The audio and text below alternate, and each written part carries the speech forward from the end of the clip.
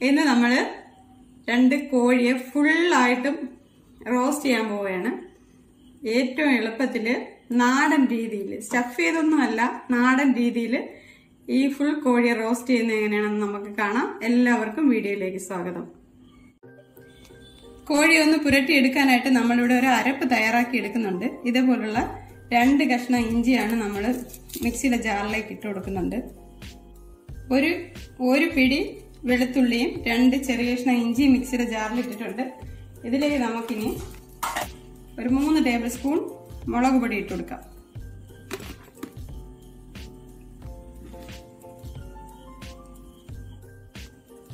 ഒരു table spoon garam masala. ഒരു table spoon കുരുമുളക് പൊടി. അര ടേബിൾ സ്പൂൺ മഞ്ഞൾപ്പൊടി. ഇതിലേക്ക് നമ്മളിപ്പോൾ ഒന്നര ടീസ്പൂൺ ഉപ്പ് ചേർക്കുന്നുണ്ട്. കല്ലുപ്പാണ് ഇട്ടത്. ഒന്നര ടീസ്പൂൺ ഇതിലേക്ക് ഇനി രണ്ട് നാരങ്ങ പിഴിഞ്ഞൊഴിച്ചു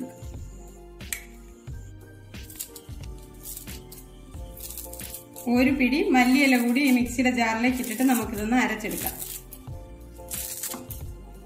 നന്നായി കഴുകി വൃത്തിയാക്കി എടുത്ത് നമ്മുടെ കോഴിയിലേക്ക് നമുക്ക് ഇനി കത്തി കൊണ്ട് നന്നായിട്ട് ആഴത്തിൽ വരയിട്ട് കൊടുക്കാം. നമ്മൾ മിക്സിയിലിട്ടിരുന്ന പൊടികളെല്ലാം അരച്ചെടുത്തിട്ടുണ്ട്. ചിക്കൻ ഇവിടെ നന്നായിട്ട് വരഞ്ഞു വെച്ചിട്ടുണ്ട്. ഈ ഹോളിലൊക്കെ നല്ലതായിട്ട് പിടിക്കുന്നത് പോലെ നമുക്ക് കൈ കൊണ്ട് ഈ മസാല ഇതിലൊന്ന് പിടിപ്പിച്ചു കൊടുക്കാം കോഴി നന്നായി മസാല പുരട്ടി എടുത്തിട്ടുണ്ട് ഇതൊരു അരമണിക്കൂറെങ്കിലും റെസ്റ്റ് ചെയ്യണം. ഏറ്റവും കുറഞ്ഞത്. നമുക്ക് ടൈം ഉണ്ടെങ്കിൽ ഒരു രാത്രി ഫുള്ളും വെച്ചിട്ട് എടുക്കുന്നതാണ് ഏറ്റവും ടേസ്റ്റി ആയിട്ടിരിക്കുന്നത്. ഏതായാലും നമ്മുടെ ചിക്കൻ നമുക്ക് റെസ്റ്റ് ചെയ്യാൻ വയ്ക്കാം നമ്മളിവിടെ റോസ്റ്റ് ചെയ്യാനായിട്ട് പുരട്ടി വെച്ച ഫുൾ ചിക്കൻ ഒരു രാത്രി മൊത്തം നമ്മൾ ഫ്രിഡ്ജിൽ വെച്ചിട്ട് എടുത്തതാണ്. ഇനി നമുക്ക് നമ്മുടെ റോസ്റ്റ് തയ്യാറാക്കാം. അതിനുവേണ്ടി ഇവിടെ ഇരുന്നൂറ് ഗ്രാം ചെറിയ ഉള്ളി രണ്ടായിട്ട് മുറിച്ച് വെച്ചിട്ടുണ്ട്. ഒരു രണ്ടിഞ്ച് കഷ്ണമുള്ള ഒരു ഇഞ്ചി കഷ്ണം അരിഞ്ഞാണ് വെച്ചിരിക്കുന്നത്. ഒരു പത്ത് പതിനഞ്ച് ചെറിയ വെളുത്തുള്ളി അല്ലി പത്ത് പച്ചമുളക് മൂന്ന് തക്കാളി.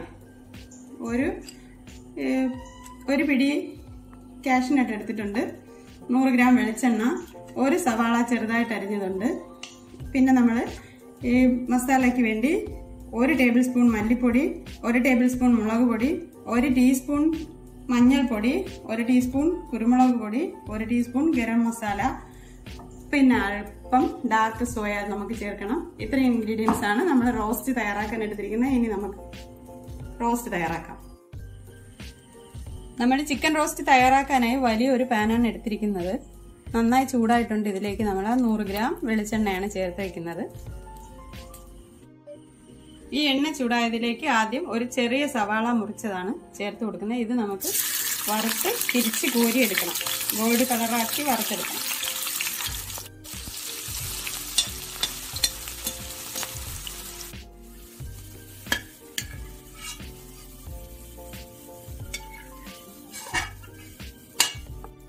ഈ ഓയിലിലേക്ക് നമ്മളിനി ഇരുപത്തി അഞ്ച് ഗ്രാം നട്ട്സ് ആണ് ചേർത്തേക്കുന്നത്.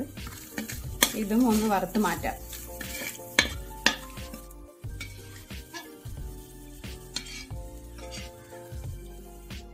ഇതിലേക്ക് നമ്മളിനി അരിഞ്ഞെടുത്ത് വെച്ചിരിക്കുന്ന എല്ലാ പച്ചക്കറികളും ചേർക്കാം.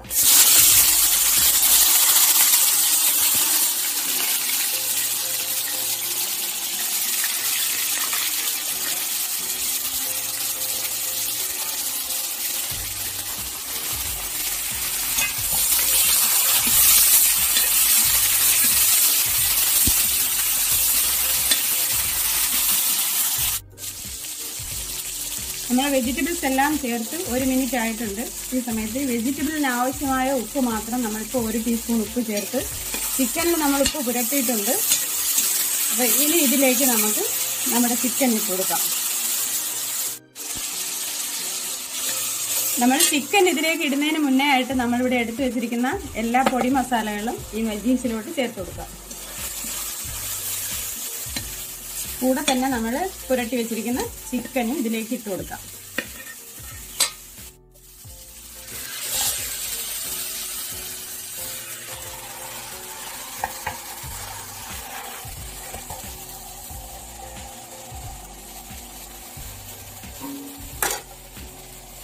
നമുക്കിപ്പോ ഇതൊന്ന് അടച്ചു വെക്കാം. ഒരു ഒന്ന് രണ്ട് മിനിറ്റ് കഴിയുമ്പോൾ ചിക്കനിൽ നിന്ന് കുറച്ച് വെള്ളം വരും. അതിനുശേഷം നമുക്ക് അര കപ്പ് കട്ടി തേങ്ങാപ്പാൽ ഇതിലേക്ക് ചേർക്കണം.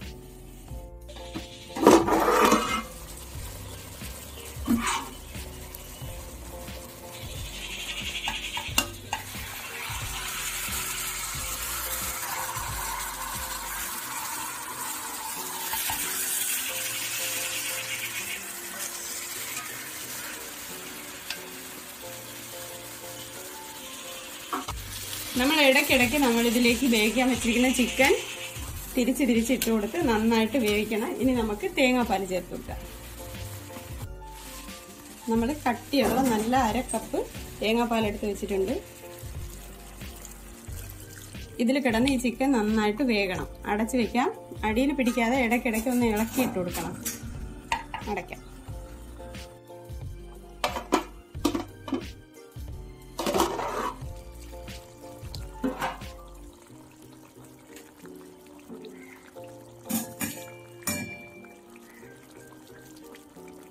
ചിക്കൻ നന്നായി തിളച്ച് തുടങ്ങി. നമ്മൾ അടിയിൽ പിടിക്കാതെ ഇടയ്ക്കിടയ്ക്ക് ഇതൊന്ന് ഇളക്കി ഇട്ട് കൊടുത്ത് അടച്ച് വെച്ച് ചിക്കൻ വേകുന്നത് വരെ നമുക്കിതൊന്ന് കുക്ക് ചെയ്തെടുക്കാം.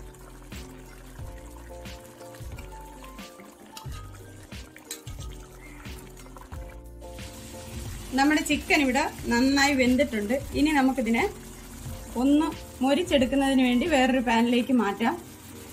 ഞാൻ അതിനായി ഇതിനെ ഒരു തട്ടത്തിലേക്ക് മാറ്റിയിട്ടുണ്ട്.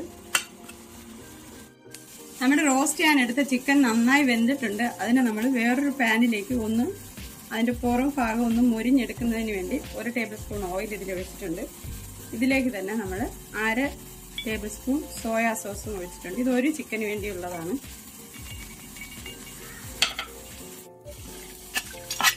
ഈ സോയായും ഓയിലും ചേർത്ത പാനിലേക്ക് നമ്മൾ ചിക്കൻ മാത്രം ഗ്രേവി അല്ല ചിക്കൻ മാത്രം ഒന്ന് ഇട്ട് കൊടുക്കണം. ഇനി തിരിച്ച് മറിച്ചിട്ട് എല്ലാ ഭാഗവും ഒന്ന് നന്നായി മുരിച്ചെടുക്കണം. അടച്ചൊന്നും വെക്കണ്ട. ഒന്ന് രണ്ട് പ്രാവശ്യം തിരിച്ചിട്ട് എല്ലാ ഭാഗവും ഒന്ന് മുരിച്ചെടുക്കാം ചിക്കനും തേങ്ങാപ്പാലും എല്ലാം ചേർത്ത് നമ്മൾ ചിക്കൻ മാറ്റിയതിന് ശേഷമുള്ള ഗ്രേവിയാണ്. ഇത് നന്നായി ഒന്നുകൂടൊന്ന് വറ്റിച്ചെടുക്കണം. അപ്പം നമ്മുടെ ചിക്കൻ അവിടെ മുരിയുന്നുണ്ട്. നമ്മൾ ചിക്കൻ വെച്ച പാത്രത്തിൽ ഈ ഗ്രേവി നന്നായി വറ്റിച്ചെടുക്കാം. ഒരു ഭാഗം ആയിട്ടുണ്ട്. ഞാനിതൊന്ന് തിരിച്ചിട്ട് കൊടുത്തതാണ്. ഇതേപോലെ എല്ലാ ഭാഗങ്ങളും നമുക്കൊന്ന് മടിച്ചെടുക്കാം നമ്മുടെ റോസ്റ്റ് ചെയ്ത ചിക്കൻ ഇവിടെ ഓൾമോസ്റ്റ് റെഡി ആയിട്ടുണ്ട്. നമുക്കിതിനെ ഒന്ന് സെറ്റ് ചെയ്തെടുക്കാം.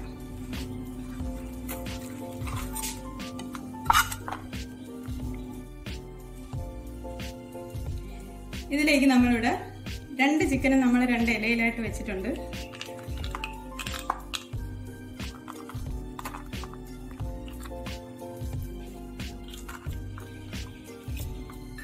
ഇത് നമ്മുടെ ചിക്കൻ റോസ്റ്റ് ചെയ്തപ്പോൾ കിട്ടിയ ഗ്രേവിയാണ്. ഇത് നമുക്ക് ഈ ചിക്കന്റെ ചിക്കന്റെ പുറത്തുകൂടെ ഒഴിച്ചു കൊടുക്കാം.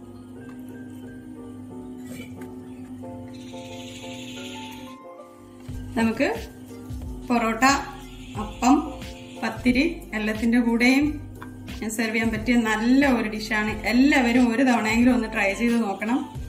ഭയങ്കര രുചിയാണ് ഇതിന്. തേങ്ങാപ്പാലിലൊക്കെ വെന്ത ഈ ഗ്രേവിക്ക് നല്ല ടേസ്റ്റാണ്. നമുക്ക് ചിക്കൻ വറുത്ത് ഗ്രേവിയൊക്കെ കൂട്ടി കഴിക്കുന്ന പോലെ നന്നായിരിക്കും. എല്ലാവരും ഒന്ന് ട്രൈ ചെയ്ത് നോക്കണം. എല്ലാവരും സുഖമായി സന്തോഷമായിരിക്കാൻ പ്രാർത്ഥിക്കുന്നു. നല്ലൊരു വീഡിയോയുമായി വീണ്ടും കാണാം.